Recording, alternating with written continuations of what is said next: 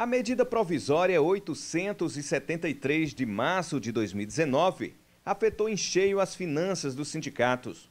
O documento editado pelo governo Bolsonaro proibiu o desconto em folha das contribuições mensais feitas pelos filiados. Pela MP, a cobrança deve ser feita via boleto bancário. Picos, o Sindicato dos Trabalhadores do Comércio e Serviços entrou com uma ação na Justiça do Trabalho. Na última semana, o Judiciário expediu uma liminar obrigando os sindicatos patronais, com atuação no município, a orientar os empregadores a fazer o desconto em folha.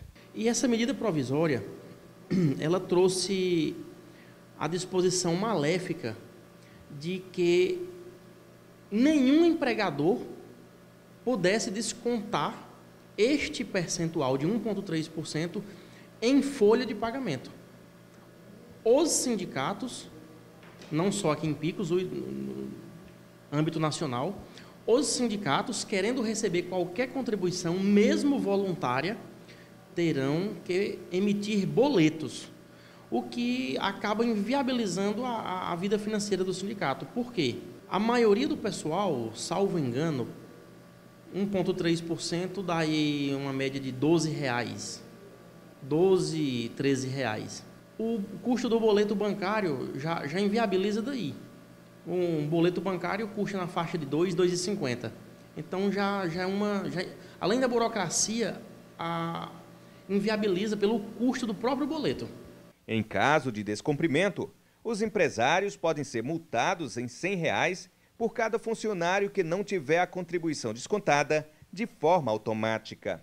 Apesar da validade da liminar estar restrita a picos, a decisão tem estimulado outros sindicatos. Ingressamos com a ação na justiça porque, sem o desconto em folha de pagamento, é humanamente impossível cada trabalhador é, e o sindicato faça um boleto para cada trabalhador vir pagar no próprio sindicato. Então, foi uma medida que a gente entrou para que isso fosse revertido e o juiz determinou que fosse continuar sendo feito da mesma forma como antes, né? E deu certo, graças a Deus. Estamos aí é, com o nosso trabalho e, graças a Deus, nós vamos, né? Nós estamos comunicando aos contadores, né?